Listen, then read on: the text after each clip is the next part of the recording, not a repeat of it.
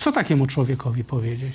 No nie wiem, no, jak on ma jeszcze takich kolegów, którzy tak samo sądzą, to chętnie otworzę jakąś firmę sprzątającą i do zamiatania ulic w Warszawie ich wezmę. Do tego język nie jest potrzebny. E, myślę, że się dla Polski nie, nie zgodzi się tego robić ze swoimi koleżkami.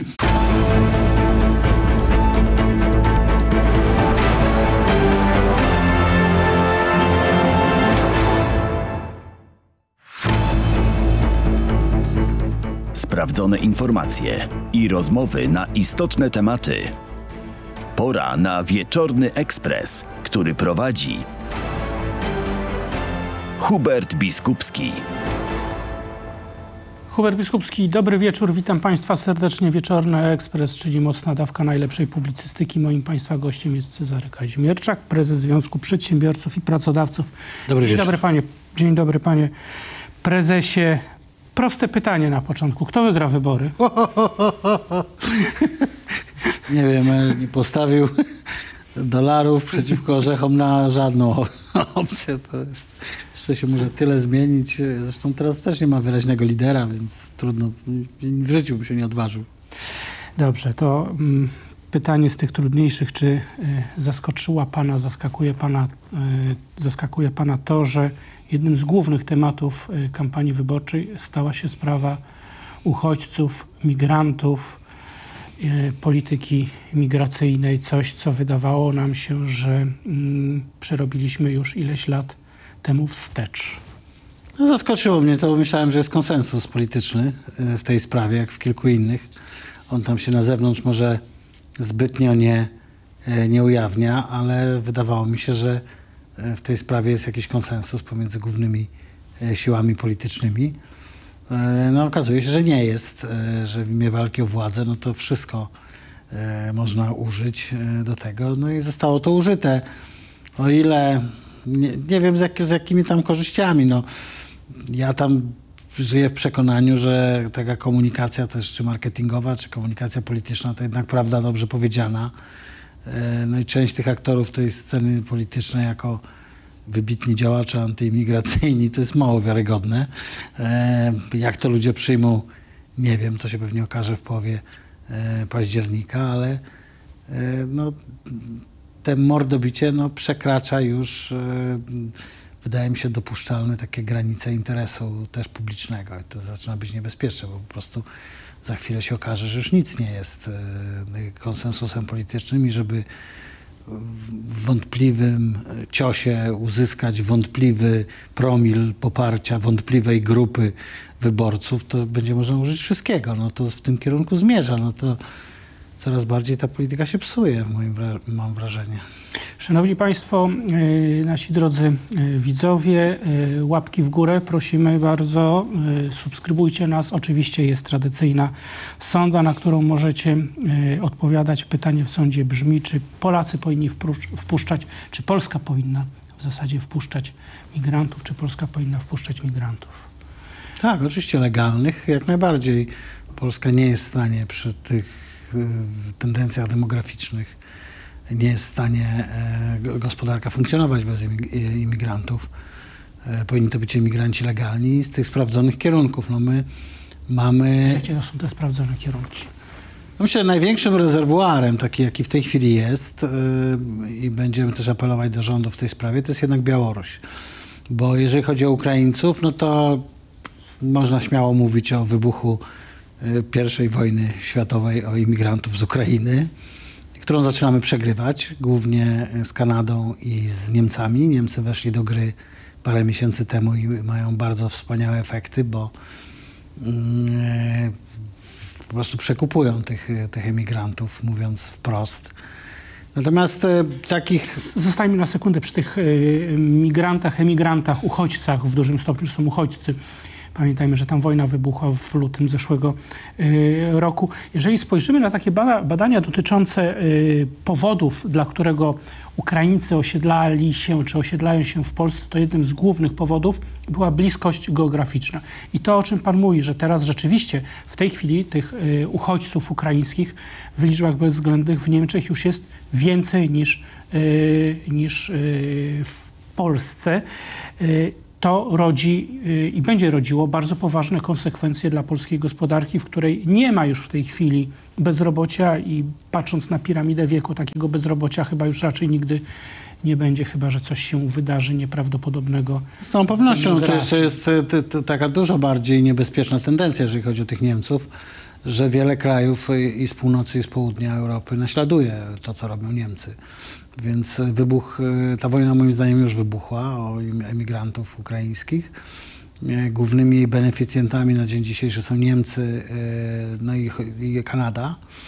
Kanada wydała e, 430 tysięcy wiz imigracyjnych obywatelom Ukrainy. Tam, tam, tam ta diaspora ukraińska jest bardzo duża, to już No tak, ale to dalej jest potężna grupa ludzi. Jak zaczną teraz pewnie naśladować, naśladować e, kraje południa i kraje północy Europy i będziemy w dużych kłopotach. Ale mm, t- o ile tych Ukraińców wszędzie chętnie y, przyjmują teraz, jak zobaczyli, co się dzieje w Polsce, bo to przecież oprócz Kanada to od początku, ale Niemcy to oni tam raczej patrzyli, co to u nas będzie z tym. I dopiero jak się okazało, że to jednak e, e, są, w, jeżeli chodzi oczywiście o element imigracyjny, pewnego rodzaju diamenty, takie, że pracuje, nie, nie sprawia kłopotów, tak, i tak dalej, i tak dalej bliski kulturowo. bliski kulturowo, tak, no to się rzucili na to, ale takich przywilejów nie mają Białorusini. Ja uważam, że Polska powinna teraz zaatakować ten kierunek, bo co najmniej pół miliona moglibyśmy jeszcze spróbować pozyskać e, emigrantów. Coś w ogóle jest robione w tej materii? Chyba nie. Białoruś Niewiele. stała się takim... Tak, no bo patrzą na tych Białorusinów trochę przez pryzmat tego bandziora. E, Natomiast no, to jest też blisko kulturowy nam naród e, i, i też nie sprawiają żadnych kłopotów. No i my będziemy apelować do rządu, żeby tu uruchomić jakąś ścieżkę, bo wydaje mi się, że można jeszcze kilkaset tysięcy, pół miliona ich ściągnąć. No a reszta no to już jest e, Azja Wschodnia, e, Azja Centralna, Indie, Uzbekistan. Uzbekistan. Polska jest w dość szczęśliwej sytuacji, że mm, zarobki w Polsce, czyli 3 czwarte w średniej europejskiej, powodują, że Polska może mieć im- emigrantów ile chce. E, Chcemy, będzie chciała mieć 100 milionów, to będzie miała 100 milionów. Ja oczywiście żartuję, bo zaraz w jakichś mediach tam się ukaże, Kaźmierczak chce ściągnąć Ściąga 100 milionów, ludzi z państw islamskich. z islamskich. E, No ale w każdym razie to jest decyzja tylko polityczna, tak? Tyle, ile chcemy, tyle będziemy mieli. E, No ale ten, te kierunki, które zostały uruchomione przez rząd, e, po, ja uczestniczyłem akurat w tych konsultacjach i w procesie budowania tego było szereg spotkań w Ministerstwie Rodziny i były przewidywania odnośnie Wtedy był kłopot taki największy, że 600 tysięcy mężczyzn uciekło z Polski, znaczy wyjechało z Polski e, na, na Ukrainę i były Pewne straszne, sektory, sta- no może nie stanęły, natomiast odczuły bardzo poważne problemy. Budownictwo, e, transport. Wtedy zapadła decyzja rozszerzenia, rozszerzenia tych, tych, tych łatwiejszego e, do, do, dostania pracy w Polsce o kraje Azji Centralnej e, i też Indii i tak dalej, i tak dalej. I to się sprawdziło. Ci Hindusi tutaj też nie sprawiają kłopotów, pracują.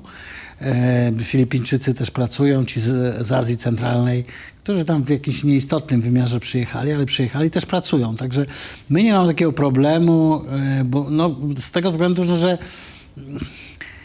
to jest legalna imigracja. Ten człowiek musi się zgłosić odpowiednio do konsulatu, tam tak, wypełnić dokumenty, wiadomo. Poza tym to są pra- pracownicy sezonowi Tak, albo okresowi jest, tak. w, dużym, w dużym stopniu. kim on jest i tak dalej, i tak dalej. Natomiast z Afryki Północnej, z czym jest problem w Europie, uciekają cwaniacy, tak? E, To nie są, to są ludzie, którzy, e, którzy po prostu e, umieją sobie zorganizować ucieczkę stamtąd, nielegalny wjazd do Europy i tak dalej, i tak dalej. Jest problem. My nie mamy imigrantów z, z Afryki Północnej. I, I mamy pod tym względem e, spokój. No, u nas nie ma problemu w Polsce z imigrantami. Tak? Wyobraża pan sobie nasz y, rynek i naszą gospodarkę i funkcjonowanie przedsiębiorców bez y, pracowników zagranicznych? W tej chwili jest to w moim przekonaniu niemożliwe. Co by to oznaczało, gdyby ten, nie wiem, półtora czy, czy dwa miliony pracowników nagle zniknęło?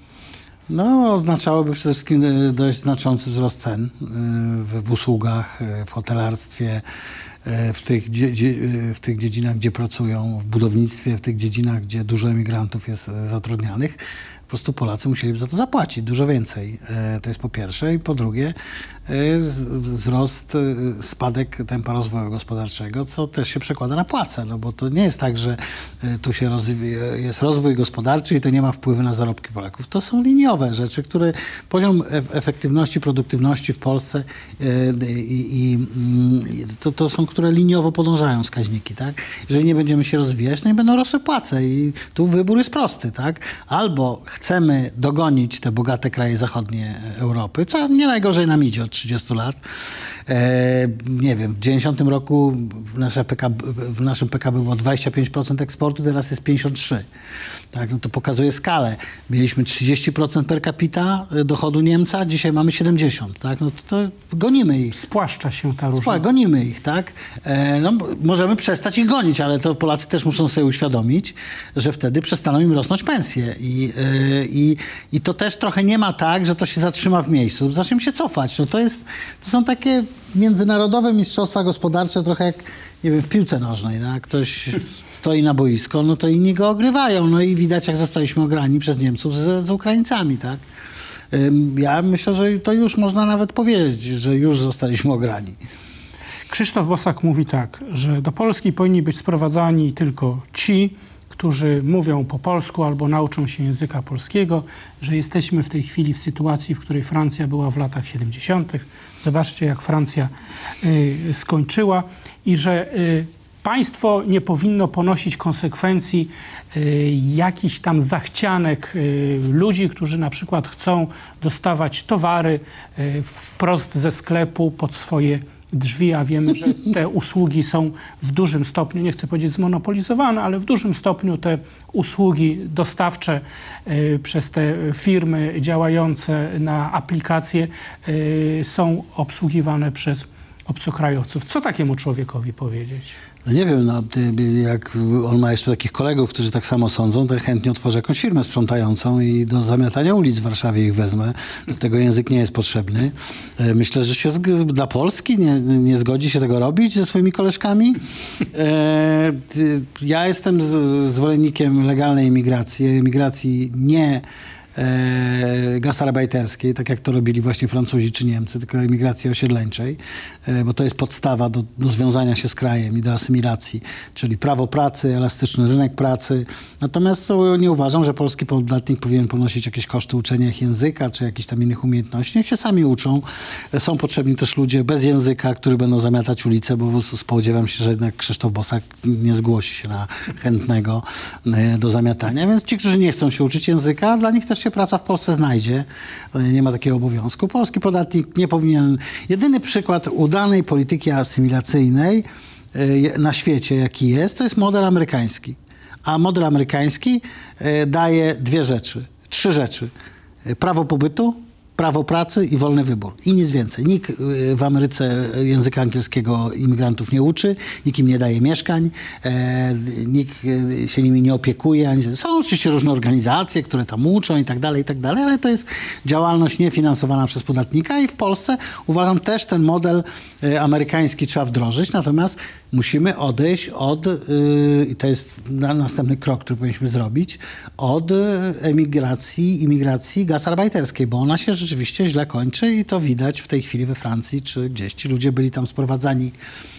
No nie chcę tam użyć takiego określenia, bo ono chyba jest za mocne, ale jako takie no do pracy, tak? Y, ma pracować tam i tak dalej, i tak dalej. Potem zrobi swoje, to się go wywali. Okazało się, że go się nie da wywalić później. U nas będzie tak samo, jeżeli będziemy to robili, tą imigrację gazarbajterską. Ale ceną za to jest to, że on nie czuje się związany y, z tym krajem. Natomiast prawo pobytu, ja sam byłem emigrantem, więc wiem, co jest ważne ważne jest prawo pobytu i prawo pracy tak? I, i, i wolny wybór. I jeżeli to damy e, imigrantom, no to oni będą się związali, wiązali z naszym krajem, asymilowali się e, u nas i będą pełnoprawnymi obywatelami naszej wielokulturowej Rzeczpospolitej, e, bo innego wyjścia Polska nie ma, jeżeli oczywiście chce się rozwijać. No, możemy się też cofnąć, no, nawet do Gomułki możemy się cofnąć.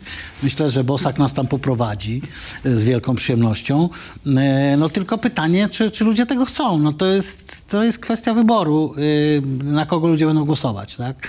Na kogo będą ludzie głosować, na kto, kto co ludziom w tym zakresie, y, w tym zakresie A oferuje. nie przeraża pana to, że y, na tej fali, nie chcę powiedzieć antyimigranckiej, czy na tej nucie antyimigranckiej zaczęli praktycznie grać w tej chwili wszyscy? No, ja myślę, że Polacy są mądrzejsi od nich, bo ja nie widzę jakichś aktów takich, e, e, które się z, zdarzają w różnych krajach Europy Zachodniej, nawet mimo tej wielkiej poprawności e, politycznej. Nie wiem, czemu to ma e, w tej chwili e, służyć, to co się dzieje. Patrzę na, tym, patrzę na to z zażenowaniem. E, Polacy są mądrzejsi i to też e, ja nie widzę. Polacy zaakceptowali tutaj dość liczną grupę emigracji z lat 90. Wietnamczyków, czyli inni rasowo, inni kulturowo i tak dalej, i tak dalej. Mieliśmy dużą migrację y, z y, krajów, y, z, z, z Kaukazu, choćby Tak. Czeczenów. To było około 200 tysięcy. Ale oni się przenieśli później trochę. To prawda. E, Ale Wietnamczycy zostali, e, budują nam zręby Chinatown na, na Ochocie, ja bardzo lubię tam chodzić. E, Zareklamuję nawet, jeżeli pan pozwoli, czy nie pozwoli.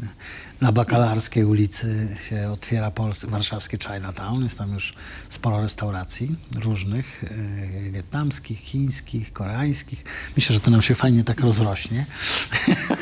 E, Polecam, w każdym razie chodzę tam e, i lubię. E, I ta społeczność sobie świetnie poradziła w Polsce, się zasymilowała. E, Jesteśmy tutaj Nie na... ma z nią problemu. Nie ma z nią żadnych problemów. Jesteśmy tu na Pradze, więc ci młodzi Wietnamczycy to potrafią taką wiązankę posłać, że tam e, ze szmulek by się zawstydzili. Niektórzy nasi obywatele.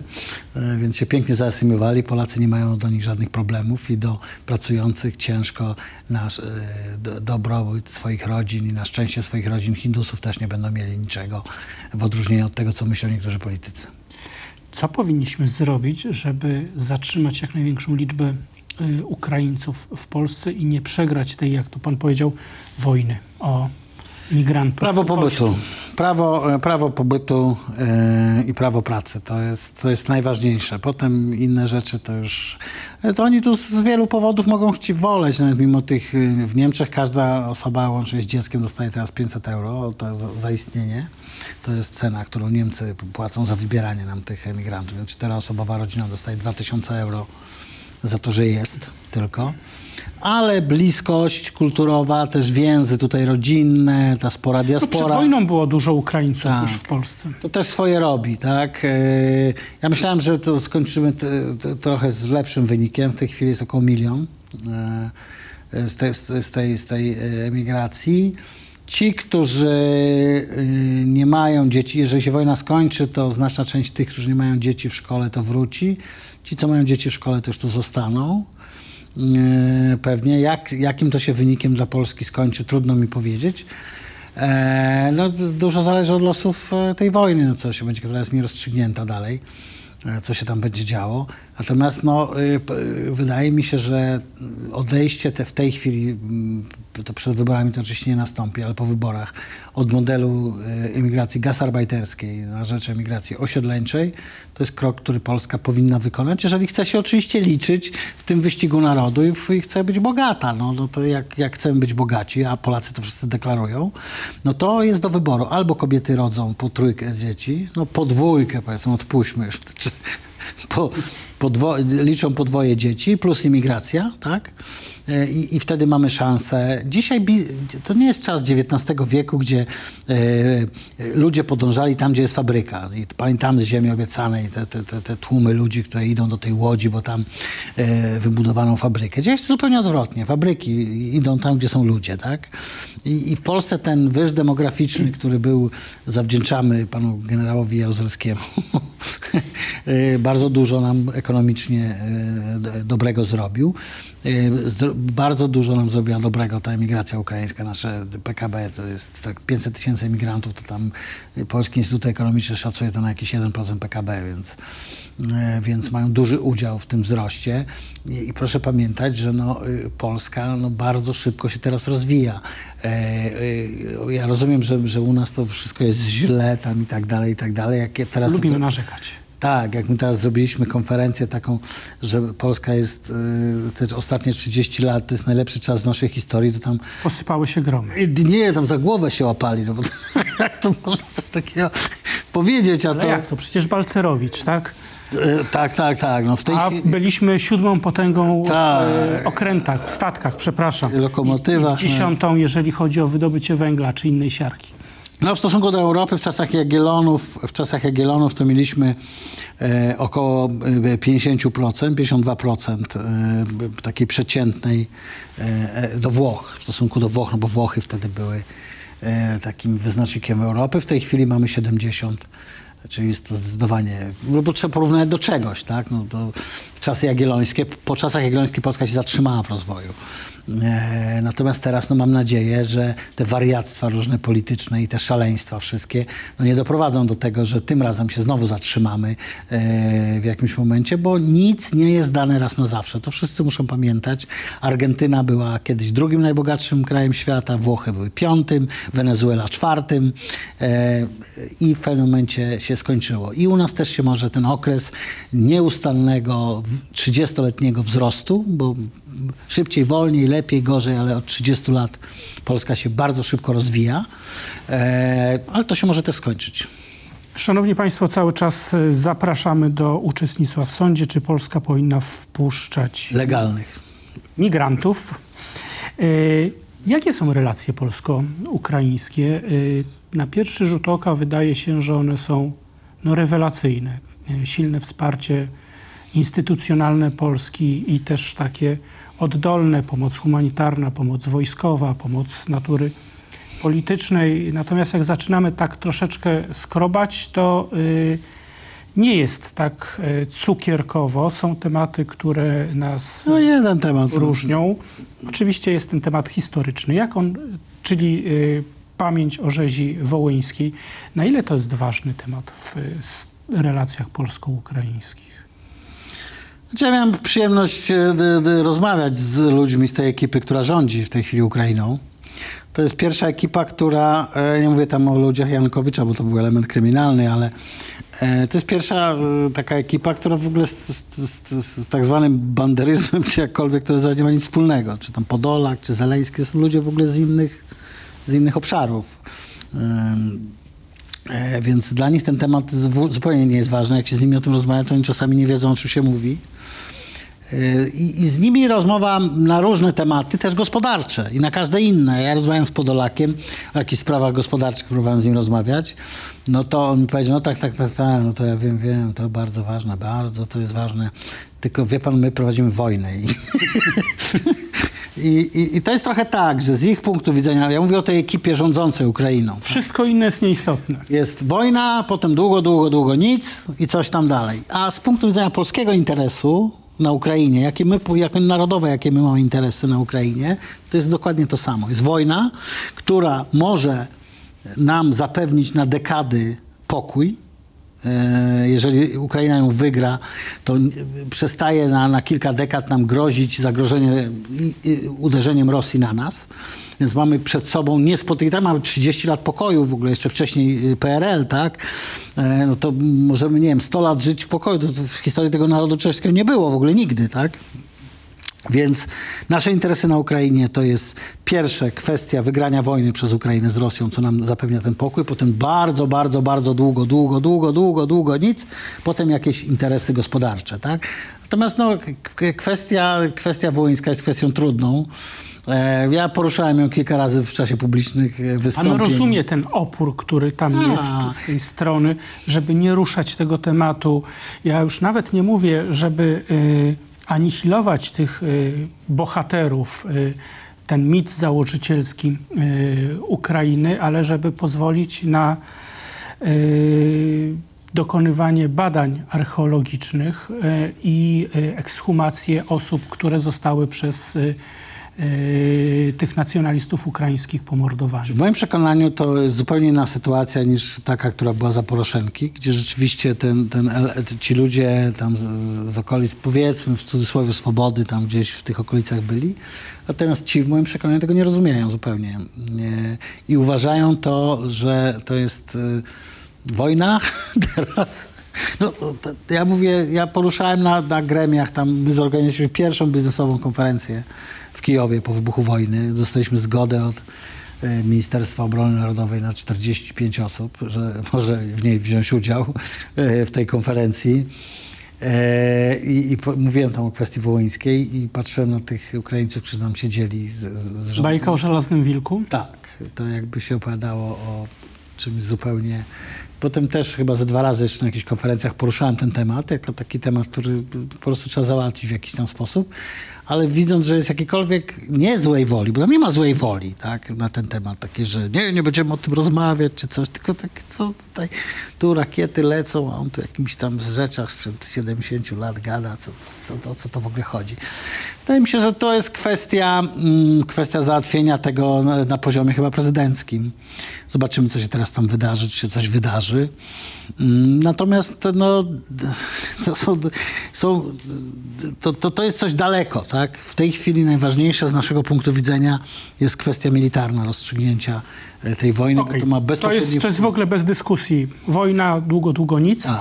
Yy, zostawmy te yy, tematy historyczne, yy, ale jest jeszcze gospodarka. Jest jeszcze gospodarka. Nie mówię o odbudowie Ukrainy, chociaż przygotowujemy się, nie wiem na ile skutecznie do tego yy, aktu, który nastąpi po zakończeniu wojny, ale mieliśmy już pierwszy zgrzyt poważny dotyczący importu produktów yy, rolnych.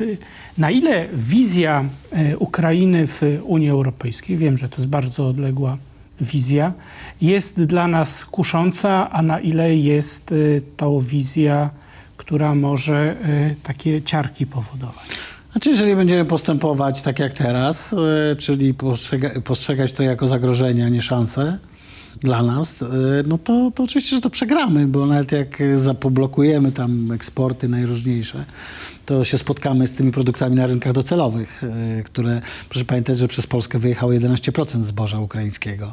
Jest to w dużej mierze projekt, program, problem polityczny, rozmuchany przez polityków, a nie przez, e, nie przez biznes i no, przez drobnych rolników też. To jest 11 tylko procent i oni się zderzą z tym na, na, na rynku docelowym, y, gdzie te produkty przetworzone będzie sprzedawać. Polska jest potentatem, jeżeli chodzi o Przetwórstwo. przetwórstwo i powinna się na tym skupić, mając i pozyskiwać ten, ten e, towar. My, jeżeli będziemy mądrzy, to powtórzymy taką drogę, jaką y, zrobili z nami Niemcy. Znaczy ja nie mówię, bo Niemcy mieli taki plan, żeby nas tutaj, że tak powiem, uzależnić od siebie i to w ogóle wszystko mieć tak, pod tak zwaną kontrolą, tak? No to się nie udało, bo to się przerodziło w bardzo głęboką współzależność. Być może z Ukrainą też by tak było, czy tak będzie. Zobaczymy, jak e, Polacy będą sobie tam radzić. Mm, na tej Ukrainie, ale y, trzeba wykorzystać swoje mocne strony. Na czym na przykład w tym sektorze my się możemy od nich uczyć, nie wiem, sektor kosmiczny, sektor zbrojeniowy, e, ale my możemy, jeżeli chodzi o materiały budowlane, tam dużą rolę odegrać. Jeżeli e, inżynierów kontraktu to nie mamy, ale może ich wykształcimy. Ale y, jeżeli chodzi o przemysł przetwórczy, no to w sposób zdecydowanie możemy z tego korzystać, natomiast nie, nie skorzystamy, jak będziemy blokować.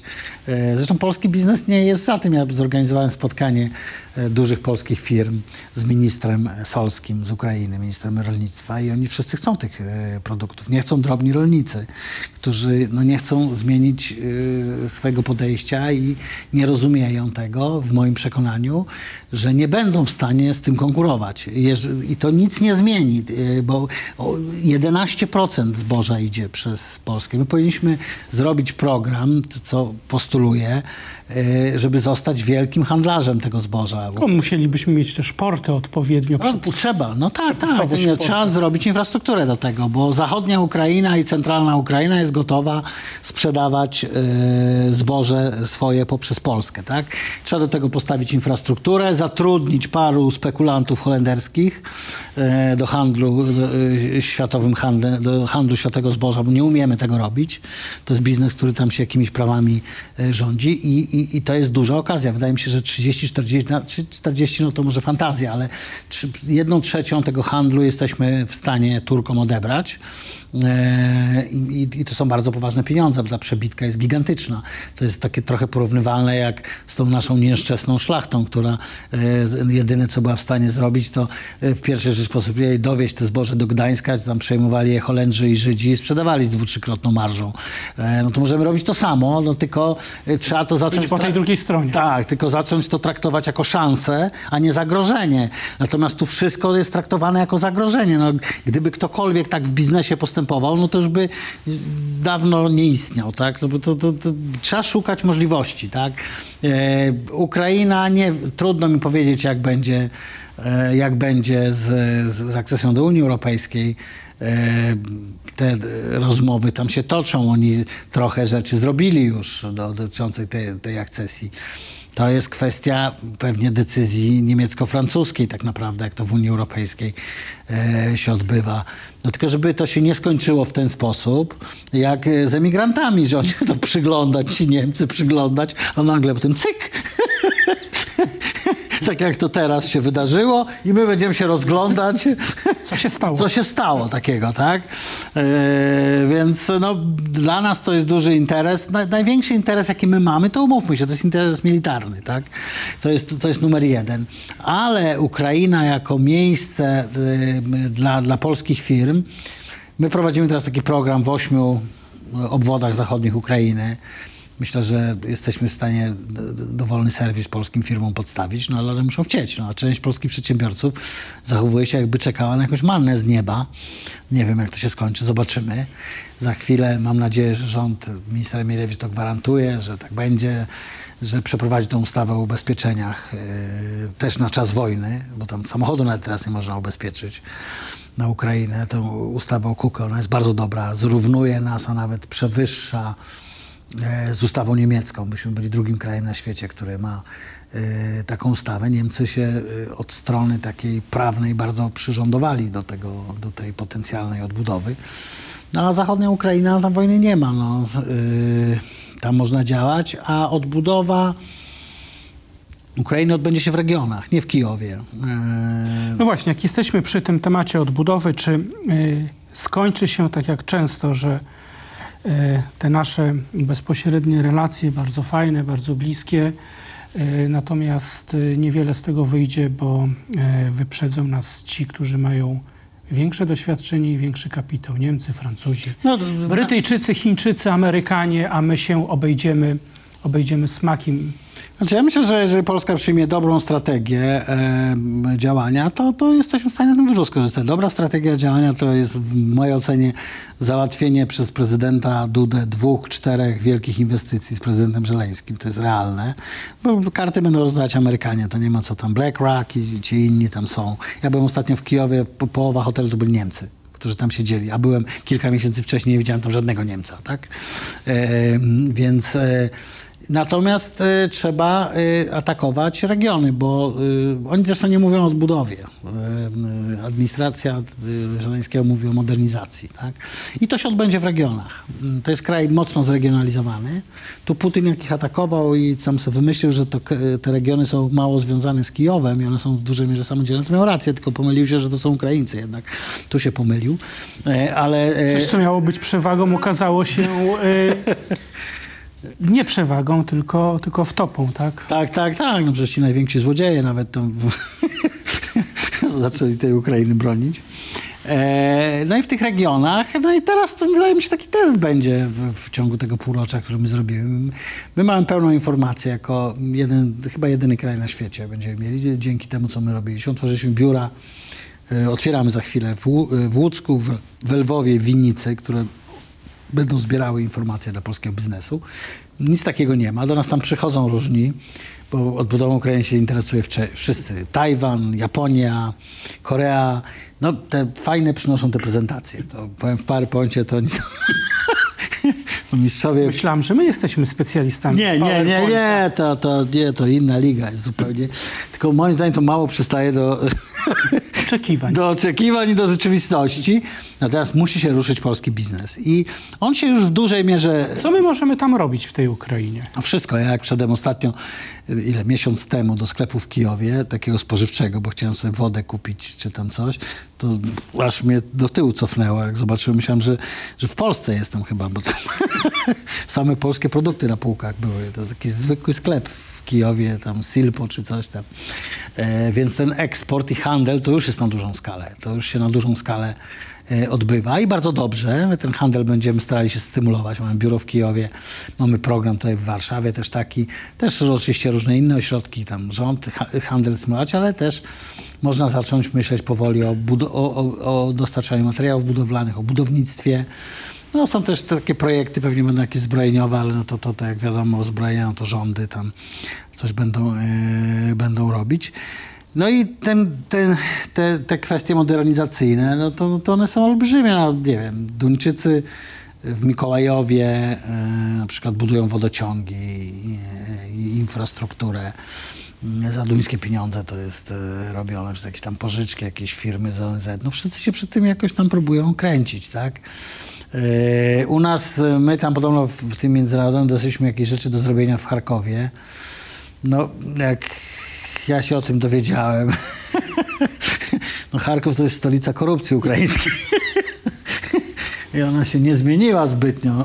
No to jest problem, prawda? To był problem przed wojną, jest problem w czasie wojny i to jest Teraz się- Tak. problem, który musi zostać rozwiązany. Nie, to na pewno. Jeżeli Ukraina myśli y, poważnie o akcesji do Unii Europejskiej. To nawet, tylko to już się bardzo pozmieniało, bo y, w tej chwili to, to część regionów jeszcze to jest ta stara Ukraina, część już nowa. Mikołajów to już jest ta nowa na przykład Ukraina. Tam są no, ludzie, którzy są wolni od, od tych, tych. Więc pewnie to będzie się e, zmieniało. No i rzeczywiście no, tu, te dwie rzeczy, które, które e, były plagą tego kraju, mm, e, ci oligarchowie, i, i korupcja i sądownictwo, no to się musi zmienić. Jeżeli tego oni nie zmienią, no to nie będzie ani odbudowy, ani, ani niczego. To będzie się jakichś tam małych... W tej chwili no, takich dużych transakcji to tam nie ma na Ukrainie. Jedyne co jest, to są wielkie, e, wielkie, jedyne wielkie transakcje, jakie się odbywają, to fundusze inwestycyjne, spekulacyjne kupują ziemię w dużych ilościach. No, która w dużym, w dużym stopniu jest skumulowana u tych y, w rękach oligarchów. Oni sprzedają. To jest około, ziemia ukraińska jest skupiona w około 30 agrozawodach tak zwanych, czyli wielkich oligarchicznych firmach, które mają po kilkadziesiąt, a niektóre nawet ponad 100 tysięcy hektarów.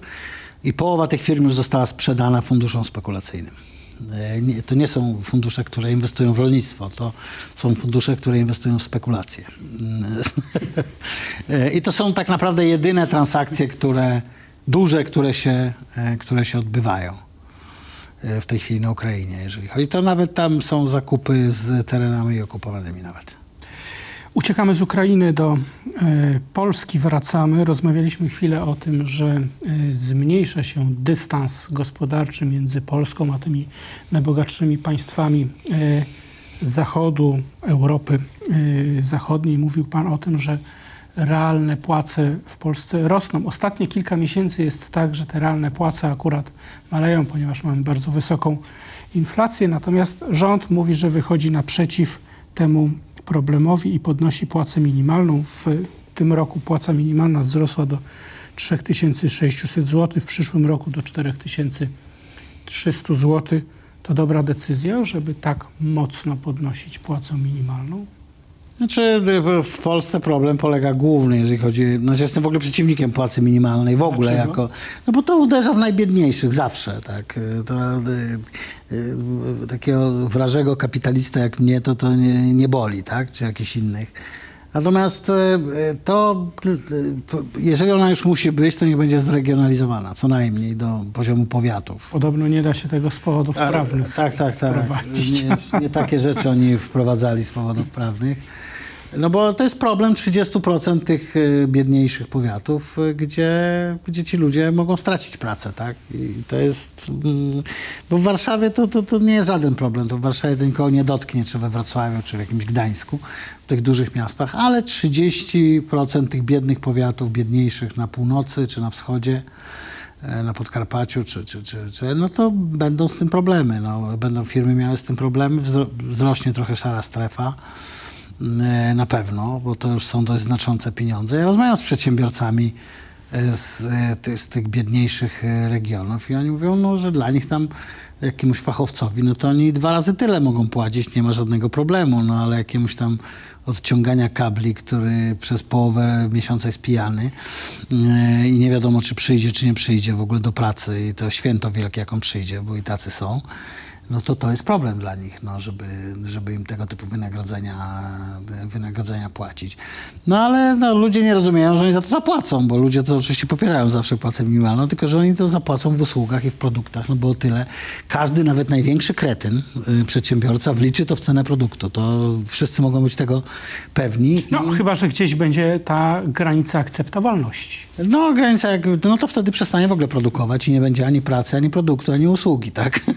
więc więc e, to jest bardzo niebezpieczne. No ale rząd kocha płacę minimalną, bo y, z każdej stówy ma 50 zł dla siebie. Także to dlatego tak bardzo chętnie, y, bardzo chętnie się tym afiszuje. Teraz... Politycy lewicy i część ekonomistów mówi, że y, znaczna część przedsiębiorców wykorzystała czas y, wojny, najpierw pandemii, później wojny i tej wysokiej inflacji, żeby maksymalizować marżę, że w tej chwili nie ma już rzeczywistych powodów, żeby ta inflacja była tak wysoka, przekraczała te 11%, bo i ceny yy, produktów rolnych znacząco na giełdach światowych spadły i ceny surowców energetycznych osiągnęły poziomy już sprzed wojny, yy, sprzed wybuchu yy, wojny, a koszta pracy nie urosły aż tak bardzo. Czy rzeczywiście przedsiębiorcy wypatrzyli ten, ten moment, zbadali rynek, zobaczyli, jak bardzo jesteśmy w stanie wyciągnąć, jak dużo jesteśmy w stanie wyciągnąć ze swoich portfeli i maksymalizują te zyski. To jest e, skutek, a nie przyczyna, jak twierdzi ta grupa tych ekonomistów tam skupiona wokół tego takiego, co tam lata, taki koło, nie, nie chcę go agrounia, tak? To oni tak, taka grupa jest tam takich e, młodych, e, młodych Hunwejbinów, którzy tam ogłosili, że to jest przyczyna inflacji. Jest to po prostu skrajna głupota. W czasie inflacji zawsze jest wypychanie marsz przez przedsiębiorców i to nie jest nic nadzwyczajnego. Zawsze tak było i będzie, ale to jest skutek inflacji, a nie jej przyczyna. Tak? To jest tylko i wyłącznie skutek. Czy państwo ma jakąś możliwość, żeby temu zapobiec? Czy nie. nie? nie. Tylko rynek może to uregulować. Tylko. To jest problem walki konkurencyjnej, e, która się, problem, że przez lata nie można było tych marsz e, podnosić, a tu się trafia okazja i to rzeczywiście się dzieje, tak? Te marże są wypychane w tej chwili i one potem będą niwelowane, niwelowane, niwelowane, niwelowane. Nikt nie będzie podnosił cen, będzie walka konkurencyjna, za ileś tam lat znowu wybuchnie inflacja i znowu. to wszystko tak od tysiący lat się dzieje. Proste prawa rynku. No tak. Zaczęliśmy od banalnego pytania, kto wygra wybory, to skończmy również na temacie wyborczym. Jak tak pan się przygląda programom wyborczym z prawa, lewa i ze środka, tym obietnicom dotyczącym polityki gospodarczej i polityki społecznej, to co pan sobie myśli? No to bardzo ciekawe, bo pan mówi, że są jakieś propozycje gospodarcze, to ja nie zauważyłem. Ale... No jak? To może Waloryzacja 500, plus, Y, emerytury stażowe, powrót emerytur pomostowych, kredyt 0% zamiast kredytu Gospodarka 0%. niestety, gospodarka nie jest e, niestety przedmiotem kampanii wyborczej, a powinna być i nie będzie, dlatego że jest dobra sytuacja gospodarcza. No, rząd Morawieckiego, obojętnie co tam kto o nim sądzi, ma bardzo dobre cyfry. Za inflację odpowiada w minimalnym stopniu, w moim przekonaniu. Jest to wynik wojny w największej mierze i pandemii. Jedyne, za co można tak naprawdę rzeczowo i, i uczciwie obciążyć y, rząd, no to jest kwestia inwestycji, ale tylko krajowych, bo one są bardzo niskie i tu za to winę ponosi rząd, to ja nie mam co do tego wątpliwości, ale mamy rekordowo niskie bezrobocie, mamy największy wskaźnik aktywności zawodowej. E, no wszystkie cyfry inne są znakomite, mamy bardzo dobre e, finanse publiczne. Dług e, według, według tamtej metodologii polskiej, no tam poniżej 50, metodologii unijnej, gdzie się wlicza PFR i ten, to tam chyba też chyba coś około 50, więc mają bardzo dobre finanse publiczne. Inflacja tu oczywiście bardzo pomaga, niemniej innym krajom też pomaga, tak? Nie tak bardzo, bo tam jest niższa. No, ale pomaga, gdzie nigdzie jest wyższa, tak? Też w, w Estonii czy coś jest wyższa, więc e, pomaga. Więc gospoda- z uwagi na to, że te cyfry są bardzo dobre, poza tą jedną cyfrą, o, o którą można rząd ciągać, czyli inwestycje krajowe, e, no to kampania, e, w kampanii wyborczej ekonomia nie będzie, nie będzie e, e, przedmiotem, tematem. wiodącym tematem, bo Ale rząd się jednak- boi o tym mówić, bo e, nie wiem, z jakichś powodów, a Ale opozycja to- wie, że wchodzi na grunt, na którym przegra. Ale jednak te obietnice społeczne y, z lewa, z prawa, ze środka padają. Pana to nie zaskakuje, że jakby... Moim zdaniem one są całkowicie nietrafione, bo nie takie są oczekiwania chyba A społeczne. jakie są oczekiwania społeczne? Myślę, że jakieś aspiracyjne. Ja nie, nie bardzo to, to tak śledzę. Nie, nie myślę, że jestem dobrym rozmówcą dla pana, ale jak tak rozmawiam u, z ludźmi tam u mnie na południowym Podlasiu i tak dalej, i tak dalej, i, i, i oni byli beneficjentami tego 500 plus y, z 2015 roku, no to oni już teraz y, mam Są takie wrażenie, że oni Niefinansowego. że oni już że oni się nie uważają już za biednych. Oni się już uważają za klasę średnią. E, i, i Czyli rację miał się, że- Henryk Kowalczyk, mówiąc, że klasa średnia to jest ten poziom 6 tysięcy złotych zarobków. E, e, Fakty się nie liczą, liczy się percepcja. I ci ludzie się w swojej percepcji nie są ludźmi biednymi. Nie uważają się za ludzi biednych. A to, czy ile oni tam mają, to już jest ich sprawa, ale ich poczucie, że oni nie są ludźmi biednymi, dlatego e, ten 800 plus to był strzał w płot po prostu i to nie, nie zadziałało tak jak. Znaczy to, to jest tak jak z generałami. No, generał zawsze chce prowadzić tą ostatnią wojnę, którą wygrał i w PiSie też ktoś chciał, chciał tam tą ostatnią wojnę prowadzić. No i mu się nie udało. E, więc wydaje mi się, że to są jakieś kwestie, jeżeli ktoś chce te wybory wygrać, no to musi przedstawić jakąś wizję aspiracyjną taką ludziom. Dziękuję ślicznie. Cezary Kaźmierczak, prezes Związku Przedsiębiorców i Pracodawców był moim i Państwa gościem. Dziękuję Panie Prezesie. Dziękuję.